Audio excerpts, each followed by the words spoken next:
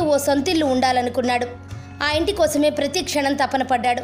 చివరకు ఇంటి నిర్మాణానికి కావాల్సిన సామాను తెస్తూనే రోడ్డు ప్రమాదంలో ప్రాణాలు కోల్పోయాడు. కానీ కొడుకు మీద ప్రాణం పెట్టుకుని జీవిస్తున్న ఆ కన్నవాళ్ళు ఆ దుఃఖాన్ని తట్టుకోలేకపోయారు.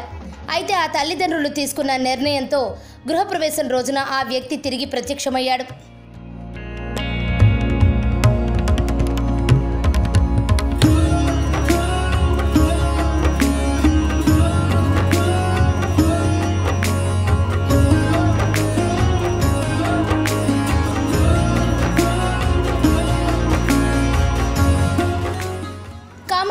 జిల్లా బిక్కనూరు మండల కేంద్రానికి చెందిన పబ్బ శేఖర్ అనే వ్యాపారి గతేడాది మార్చిలో జరిగిన ఓ రోడ్డు ప్రమాదంలో ప్రాణాలు కోల్పోయాడు.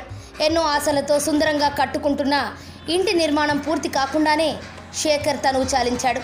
కొడుకు హఠాన్ మరణంతో ఆ కుటుంబం చాలా రోజులు తేరుకోలేకపోయింది. అయితే తమ కొడుకు ఎంతో ముచ్చటపడి కట్టుకుంటున్న ఇంటి నిర్మాణం పూర్తి చేయాలని నిర్ణయించుకున్నారు శేఖర్ తండ్రి నాగరాజు. ఇంటి నిర్మాణం పూర్తయిన తర్వాత కొడుకు విగ్రహంతో కలిసి గృహప్రవేశం చేశారు.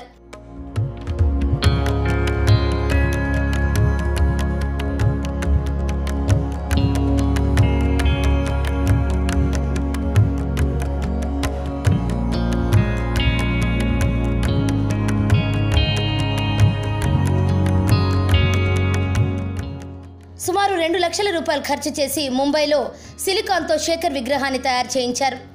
ఆ విగ్రహంతో గృహప్రవేశం చేశారు. శేఖర్కు భార్య ఇద్దరు కుమార్తెలు ఉన్నారు. శేఖర్ తల్లిదండ్రులతో పాటుగా మొత్తం కుటుంబం అంతా విగ్రహాన్ని చూసి శేఖర్ జ్ఞాపకాలను నెమరవేసుకుంటున్నారు.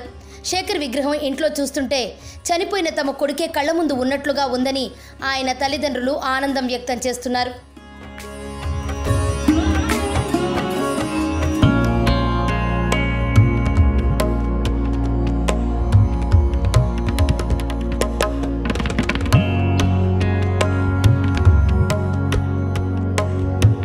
అది బిక్నూరు. పబ్బా నాగరాజు మా ఆయన పేరు. నా పేరు కృష్ణవేణి. మా అబ్బాయి శేఖర్. ఇల్లు వర్క్ నడుస్తుండగా రామాయంపేటకు వెళ్ళి సామాన్ తీసుకొని వచ్చేటప్పుడు జైకా హోటల్ దగ్గర లారీ యాక్సిడెంట్ అయ్యి స్పాట్లో చనిపోయాడు బాబు. అప్పటి నుంచి ఇప్పుడు సంవత్సరం నుంచి మేము బాధపడుతూ ఉన్నాం గృహప్రవేశం టైం దగ్గరికి వచ్చింది సంవత్సరం నుంచి వాళ్ళ నాన్న కష్టపడి ఇల్లు వర్క్ అంతా పూర్తి చేయించాడు. బాబు ఉన్నప్పుడు ఏం వర్క్ కంప్లీట్ కాలేదు. అయినా కూడా బాధతోటి ఆయన వర్క్ అంతా కంప్లీట్ చేయించి గృహప్రవేశం రోజు మాకు పోవడానికి మనసు ఒప్పక బాబు విగ్రహం చేయించుకొని బాబు విగ్రహంతో పాటే మేము గృహప్రవేశం చేసాం ఆ రోజు నుంచి బాబుని చూసుకుంటే వాడు ఉన్నాడు అనే ఉద్దేశంతో ఇట్లా మనసు నింపుకొని ఉంటున్నాం. సంవత్సరం నుంచి చూసిన బాధ అంతా ఇప్పుడు వాని విగ్రహాన్ని చూస్తే కొంచెం తగ్గినట్టు అనిపిస్తుంది కానీ బాధ అయితే ఎక్కడ పోదండి బాధ ఎక్కడ పోదు మాకు.